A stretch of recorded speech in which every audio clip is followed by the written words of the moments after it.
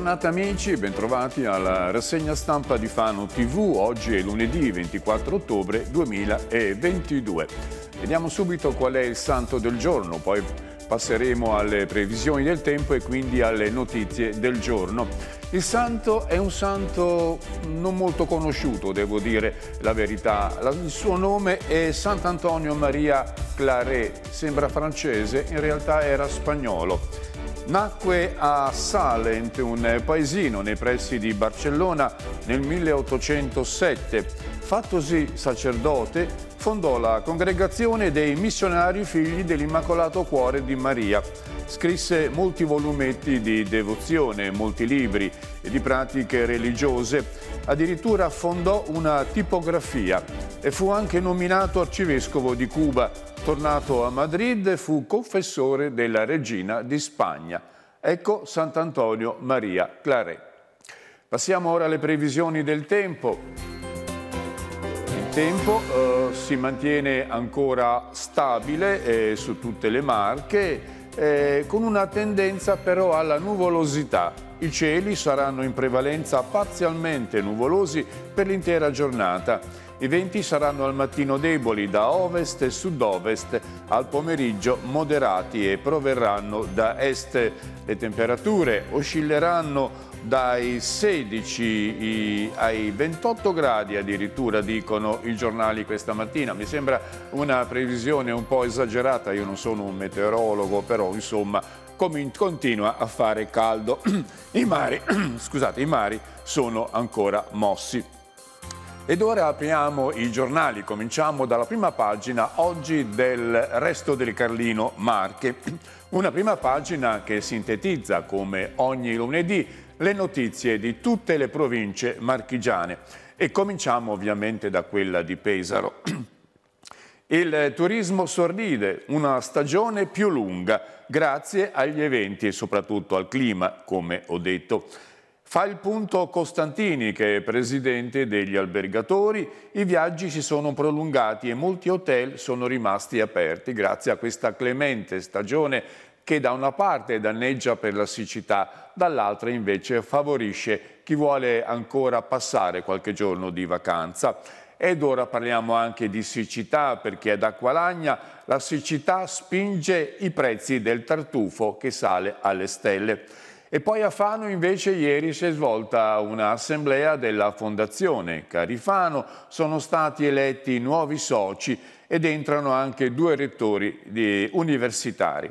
Ad Ancona si parla ancora dei danni subiti dalla Fontana dei Cavalli, cui è, stata, è stato rotto un'ala di uno dei cavalli e un ragazzo chiama i carabinieri e si autodenuncia, dice sono stato io. E poi ancora nella pagina di Ancona, due uomini lo picchiano con un bastone per rubargli lo smartphone e poi è stato denunciato un 61enne, un'anziana compra un divano a 1200 euro ma è una truffa. Ad Ascoli Piceno invece l'imprenditore Cardinali si fa avanti per gestire la cascina delle rose. A San Benedetto un uomo si sente male mentre fa visita ai parenti al cimitero, è stato trovato morto, aveva 82 anni.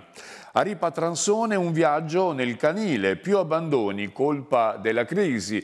Ci sono certe persone che non riescono ad arrivare alla fine del mese e quindi non si occupano più degli animali di affezione.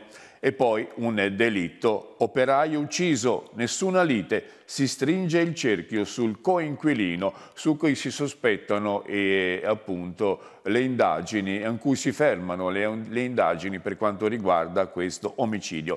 Invece a Macerata l'iniziativa Tradizione e Turismo, due giorni dedicati al trekking urbano, mentre a Camerino una sfilata serale viene organizzata per promuovere i negozianti. Infine Recanati, furti a raffica, ripulite tre abitazioni, un bottino di 1000 euro per quanto riguarda un ride che è stato presumibilmente fatto dalla stessa banda. Apriamo il giornale, ci fermiamo un attimo sulle pagine pesaresi e vediamo quello che accade eh, per quanto riguarda il tartufo. Siamo nella stagione eh, ideale per il tartufo e Acqualagna sale alla ribalta. Con la siccità il tartufo vola fino a 4.500 euro al chilo. Sono queste le quotazioni della borsa di Acqualagna che ieri ha aperto la 57esima fiera del tartufo. Ebbene, in questa occasione il sindaco ha espresso eh, la sua solidarietà ai colleghi del territorio colpiti dalla alluvione. Ma riguardo il prezzo, Acqualagna ha creato su internet la borsa del tartufo con quotazioni collegate all'andamento del mercato, ovvero si è costituito un osservatorio prezzi che stabilisce un valore medio di vendita che è riferito sia alla qualità che alla pezzatura del tartufo. Sapete che un tartufo più grosso costa molto molto di più di un tartufo piccolo di piccole dimensioni. Eh, ebbene, mh, ci sono diverse quotazioni a seconda che le pezzature vanno da 0 a 15 grammi, da 15 a 50 oppure superiore a 50 grammi. In questo momento il prezzo si attesta dai 2.500 ai 4.500 euro al chilo, insomma una cifra considerevole. E poi si parla anche di olio oggi sui giornali, sul resto del Carlino in modo particolare. Ne parla il presidente del consorzio dell'olio DOP di Cartoceto, Tommaso Maggioli. Olio, raccolta ottima, dice Maggioli, ma l'Europa preoccupa, preoccupa in modo particolare per la etichettatura. Questo Nutri-Score Secondo appunto questo modo francese di etichettare i prodotti, la Coca-Cola avrebbe è un sistema che si basa un po' su segnalazioni tipo semaforiche, insomma c'è il rosso, il verde, il giallo, eccetera. Ebbene, la Coca-Cola ha ottenuto il semaforo verde, mentre l'estratto delle olive, ovvero l'olio, il semaforo rosso che insomma non sarebbe certo l'ideale per, per i consumatori. È un'assurdità, ha detto Maggioli. Così non si tutela il vero prodotto genuino e soprattutto si danneggia il made in Italy. E quindi c'è l'appello al nuovo governo che ha cambiato denominazione al Ministero dell'Agricoltura perché oltre a cambiare la denominazione cerchi insomma di tutelare i prodotti italiani. E poi si parla di turismo, si parla di turismo perché anche la bassa stagione grazie al clima mite si è alzata. Il presidente degli albergatori Costantini commenta il trend negli ultimi mesi col clima mite, viaggi prolungati e più hotel aperti. Secondo un dato della regione Marche, ma non si sa quanto attendibile, secondo alcuni albergatori, da gennaio ad agosto il sistema turistico provinciale ha fatto registrare un meno 2,21% negli arrivi rispetto al 2019, hanno preso per il confronto, mentre per quanto riguarda le presenze il dato provinciale registra un più 1,13%, sempre rispetto al 2019. In testa c'è Ancona, nella classifica regionale, ma in questo caso molto incide il turismo di passaggio per il porto, insomma gli sbarchi che si effettuano in Darsena. A molti più arrivi di Pesaro, Ancona, il capoluogo dorico, ma anche molte meno presenze, infatti c'è il passaggio, sbarcano e poi se ne vanno. In testa, per ordini di arrivi, terzo e quarto posto c'è Gabicce, quindi Pesaro, poi al settimo posto c'è Fano. Questo è un po' quello che dice la Regione. Intanto nei giorni scorsi eh, si, Fano, si sono svolti a Fano gli stati generali del turismo, dove da gennaio al mese di agosto si è visto un'impennata degli arrivi e delle presenze, presenze addirittura che hanno eh, pressappoco eguagliato il periodo di pre-Covid e quindi insomma un, grazie, un grande balzo in avanti rispetto alla pandemia. Vediamo anche altre notizie, purtroppo eh, è deceduta Elvidia Ferraguti, la Rosina delle Marche, una delle cantanti liriche più celebrate della nostra, del nostro, della nostra provincia, del nostro territorio, era orgogliosa di quel titolo, La Rosina delle Marche, perché insomma interpretando questo ruolo aveva acceso eh, l'entusiasmo dei melomani. Eh, lo aveva conquistato grazie all'interpretazione del barbiere rossiniano. Eh, aveva 87 anni, era nativa di Petritoli, ma arrivò a Pesaro agli inizi degli anni 50 per frequentare il Conservatorio Rossini. A, 18, a 19 anni aveva debuttato nel ruolo di Gilda nel Rigoletto al Teatro Pergolesi di Iesi. A 21 anni si era diplomata in canto con il massimo di voti poi ha iniziato a cantare nei più importanti teatri italiani, riscuotendo ovunque un notevole successo. I funerali di Elvidia Seracuti si terranno oggi alle ore 10.30 nella chiesa del Porto. E poi vediamo un articolo che riguarda l'entrata di nuovi soci nell'assemblea della Fondazione Cassa di Risparmio di Fano. Fondazione Carifano, nuovi soci sono al top. È un articolo di Maurizio Gennari, il quale, il quale evidenzia come eh, l'Assemblea si arricchisce di nuove presenze, soprattutto quelle dei rettori dell'Università di Urbino e del Politecnico di Ancona, Giorgio Calcagnini dell'Università di Urbino e Gianluca Gregori che guida il Politecnico di Ancona. Poi abbiamo altri interventi, altri, eh, altri interventi insomma, eh, rilevanti e sono quelli di Mauro Papalini che è ex presidente degli industriali e titolare eh, dell'impresa, di un'impresa di pulizie che opera in città. Quindi Bellucci della società Dago Elettronica per rimanere nell'ambito degli imprenditori e poi un'esperta d'arte, una grande esperta d'arte, ovvero Anna Maria Ambrosini, titolare di cattedra ad Urbino e recentemente consulente anche a Pesaro per il restauro di Palazzo Perticari.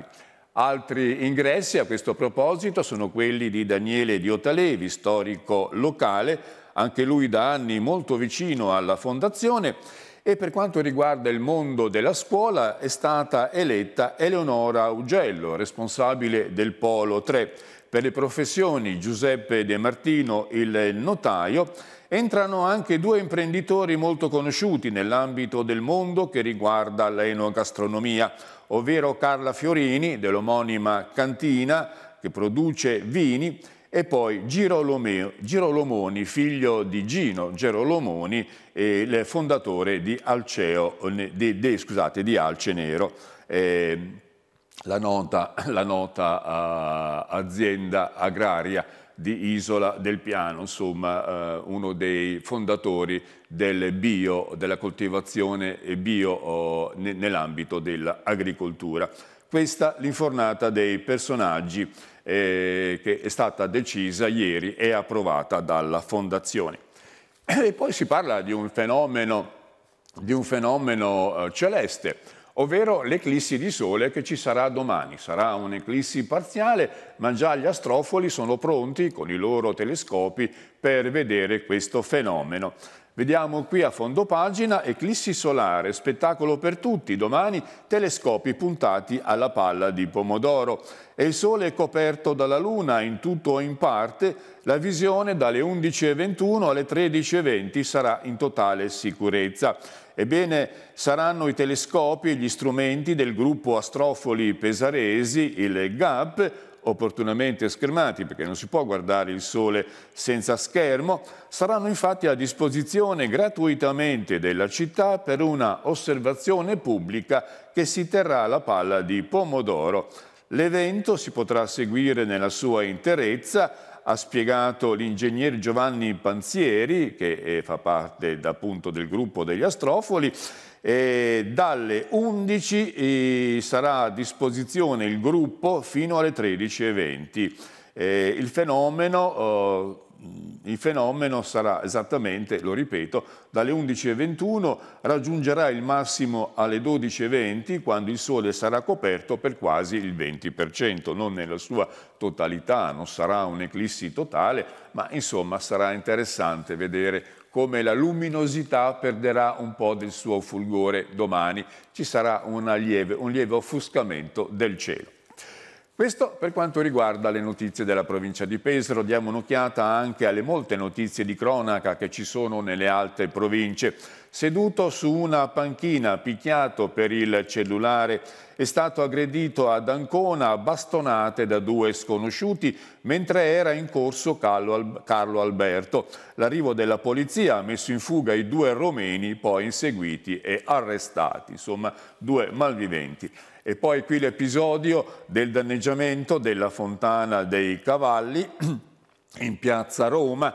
Ebbene, eh, qui abbiamo un cittadino, non è lui l'autore del vandalismo, che mostra come uno dei cavalli ha perso la sua ala, la vediamo qui in questo punto dove rimane il moncone, l'attaccatura dell'ala al dorso del cavallo. Vandalismi e danni ingenti all'alba in piazza Roma, un giovane chiama i carabinieri e confessa subito. E poi la fontana è inaccessibile, ora ci vorrà del tempo per metterla in sicurezza e operare il restauro. Un giovane sarebbe stato visto salire a cavalcioni del cavallo, forse per arrampicarsi più su e con i piedi poi ha rotto l'ala, che probabilmente si era indebolita con il passare del tempo. Invece vediamo sempre in Ancona un'anziana truffata per un divano online. Il malvivente è riuscito a farsi caricare con l'inganno 1200 euro sulla propria post pay. Preso e denunciato, anche qui è stato scoperto. Invece travolto e ucciso dal trattore un malore dietro l'incidente di Cerreto Desi. Il pensionato, un 79enne, era la guida del mezzo, resta grave la moglie. E questo per quanto riguarda la pagina di Ancona. Per quanto riguarda invece Macerata abbiamo tradizione e turismo culturale, un viaggio alla scoperta della città. Sono queste due giornate dedicate al trekking urbano, un itinerario tra le pinturette, opere dedicate a San Giuliano, Beh, la scoperta di una città fatta anche dagli stessi abitanti è sempre una cosa eh, importante che arricchisce il bagaglio culturale. Poi per quanto riguarda Macerata vi voglio segnalare anche questo articolo che riguarda un blitz dei ladri, sono state prese di mira tre abitazioni, Fute, furti in serie a Recanati, i malviventi sono entrati forzando le finestre, il bottino si aggira su 1000 euro, come abbiamo visto nel richiamo di prima pagina, intanto indagano i carabinieri, ma si pensa che questi ladri abbiano vita breve per quanto riguarda la loro attività, in quanto eh, telecamere, testimoni possono aver visto qualcosa. Operaio ucciso ad Ascoli e fermo, nessuna collutazione. Bivio Cascinare, le analisi della scientifica in casa dei lavoratori indiani non mostrano segni di lotta. Si stringe il cerchio intorno al coinquilino eh, probabilmente indagato in modo particolare perché su lui i sospetti acquistano una certa rilevanza. E poi l'articolo che riguarda eh, l'aiuto eh, ai cani, aiutiamo anche i cani da Bollino Rosso, al rifugio di Ripa Transone, arrivano pure animali da situazioni familiari difficili. Intanto la crisi fa aumentare chi rinuncia al suo quattro zampe ed è veramente un peccato. Ora chiudiamo il resto del Carlino, invece apriamo il Corriere Adriatico e vediamo come l'articolo di apertura viene dedicato al concertone che si è svolto alla Rocca Malatestiana per raccogliere fondi in favore degli alluvionati. Una grande festa colorata alla Rocca, intitola il giornale, è tutto esaurito per il concertone. L'evento con il cuore nel fango, questo è il titolo che è stato dato all'iniziativa, attiva una folla di giovani e famiglie con bambini oltre alle attese un successo, un vero, un vero successo, tanta gente e soprattutto tanta, tanti giovani. Questo eh, dà un eh, esempio del clima di solidarietà che si è costituito attorno alle famiglie che hanno perso molti dei loro beni, qualcuno anche un proprio familiare. Eh, la Rocca non poteva contenere più di 800 persone, ma veramente è stata occupata in ogni ordine dei posti. La fotografia qui testimonia come tutti si sono accalcati eh, nei pressi del palco per applaudire tutti i gruppi che si sono succeduti per un lungo tempo eh, per eh, dare la propria testimonianza appunto a questa opera di solidarietà. E poi vediamo invece la giornata finale del Fano International Film Festival eh, che si è svolta sabato al cinema Masetti di Fano. Autori marchigiani ancora in evidenza. Ecco i riconoscimenti del Fano International Film Festival. Sono stati non pochi gli autori marchigiani che si sono posti in evidenza. Matteo Damiani, autore del miglior film marchigiano, è stato premiato, qui lo vediamo, che ricevere, che, eh, a ricevere il premio non solo del Fano Film Festival ma anche dell'associazione Maruzza. E poi qua invece vediamo Emanuela, Emanuela Mazzupappa, eh, autrice del miglior film italiano. Sono diversi poi eh, tutti i personaggi che sono stati premiati, a partire anche dagli scolareschi di una scuola di bolognese eh, che è stata premiata per il corto che è stato realizzato a livello didattico. Anche Fano aderisce alla rotta, alla rotta dei Fenici, Serie ha partecipato in Croazia all'Assemblea Generale eh, internazionale, un rapporto internazionale che si pone in, che pone in contatto la nostra città con altre città della sfera adriatica per interessanti relazioni dal punto di vista culturale soprattutto. Per quanto riguarda invece terre rovaresche, vediamo che il sindaco si scusa per i disagi che ci saranno negli scuolabus. Vigileremo sull'attesa dei bambini. Sebastianelli assicura la sorveglianza nel punto di raccolta di piagge, no al secondo mezzo. Ebbene, disservizi possono verificarsi alla luce della situazione che è determinata dai lavori di ristrutturazione della sede scolastica delle medie di San Giorgio. Quindi si invitano tutti i cittadini ad aspettare tempi migliori che matureranno il prossimo anno e per questo ci saranno anche dei disagi per quanto riguarda gli scuolabus e quindi il sindaco pone le mani avanti dicendo ragazzi non posso fare diversamente perché insomma la situazione impone questo. Invece per quanto riguarda Senigallia vediamo che sono alla ribalta due ristoratori Ugliassi e Cedroni, sempre al massimo, chef celebrati anche dalla cinquantesima Top Italy. Piazzati al secondo e all'undicesimo posto, continuano a portare il gusto delle marche al successo. Ebbene, l'enogastronomia si evidenzia e si qualifica sempre più come forza attrattiva degli arrivi e delle presenze turistiche nel nostro territorio.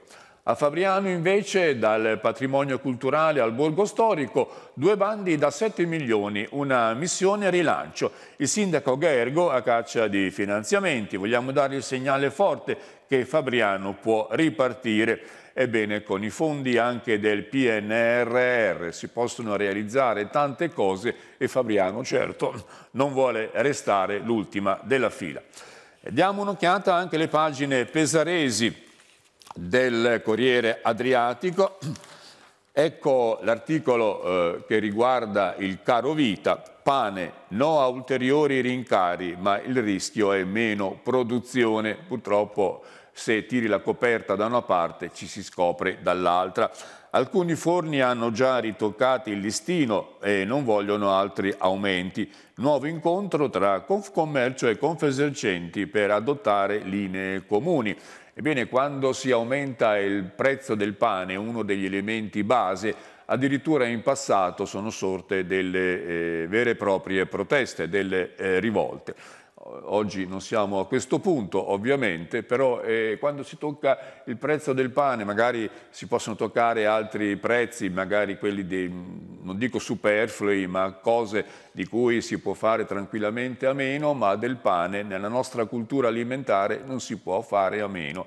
E il ritocco del prezzo del pane è un eh, provvedimento eh, di particolare rilevanza. Ci sono qui delle testimonianze, sulla scia delle bollette sta aumentando tutto, materie prime comprese, dice Marcello Angelini, il prezzo da pagare è il calo dei quantitativi, salvando però i dolci, dice Mariella Mosca, sto cercando anche di tutelare il personale, tutte persone di fiducia, aggiunge Giorgio Balestrieri, mentre Marco Arzeni, che è il direttore della Confcommercio, dice ritengo che ridurre gli orari delle attività alla fine serva poco, veramente. E poi c'è un dilemma nella seconda pagina che tratta sempre questo problema. Quel dilemma tra chi chiude o non sforna più pizze la sera, gelaterie e pasticcerie locali in cerca di una soluzione per fare quadrare i conti. Un'intera pagina dedicata a Elvidia Ferracuti nel momento della sua scomparsa, addio al soprano Ferracuti per tutti la Rosina delle Marche. Ha legato la sua fama al personaggio del barbiere di Siviglia. Aveva 87 anni, oggi i funerali si terranno nella chiesa del Porto, come abbiamo detto. Invece, mentre altri comuni si trovano in difficoltà, il comune di cui è sindaco Palmiro Ucchielli e trova delle risorse finanziarie non trascurabili. In pochi giorni ben 3 milioni e mezzo giungono dal governo Draghi nel momento del suo trapasso con il governo Meloni, mai così tanti per Pian del Bruscolo. Pala Dionigi, asili nido e mura di Colbordolo, una pioggia di fondi sul territorio di Occhielli. E beh, insomma, un bel passaggio di consegne tra i due eh, presidenti del Consiglio dei Ministri. Palazzo Ratti, un restyling deluxe la Maison come una galleria d'arte, non solo Palazzo Perticari ma anche Palazzo Ratti ora si mostra nella sua bellezza ai cittadini di Pesaro. Ieri l'inaugurazione dei rinnovati locali, tra le sorprese il punto di alta pasticceria di Iginio Massari. Ebbene, la città di Pesaro a questo riguardo non finisce mai di stupire e l'incipit dell'articolo firmato da Elisabetta Marsigli oggi sul Corriere Adriatico. E vediamo anche la pagina di Urbino, si parla di tartufo, la ruscella d'oro va a Pergola, l'eccellenza è anche quella della solidarietà. Pergola, città che è stata colpita notevolmente dall'alluvione del 15 settembre, la fiera del tartufo di Acqualagna non dimentica l'alluvione. Baldelli, qui è la storia italiana. E siamo in conclusione, purtroppo lo sport è un po' deludente nella giornata di oggi, sia la Visse che il Fano Calcio hanno pareggiato, ma insomma l'importante è non perdere punti e quindi salire sempre di più la scala della classifica. È tutto per il momento, Massimo Foghetti vi saluta, vi dà appuntamento domani alle 7 per le notizie del giorno, alle 20.30 su Occhio alla notizia di Fano TV, il TG di Fano TV, questa sera alle ore 20.30. Questo è tutto, buona giornata, a risentirci.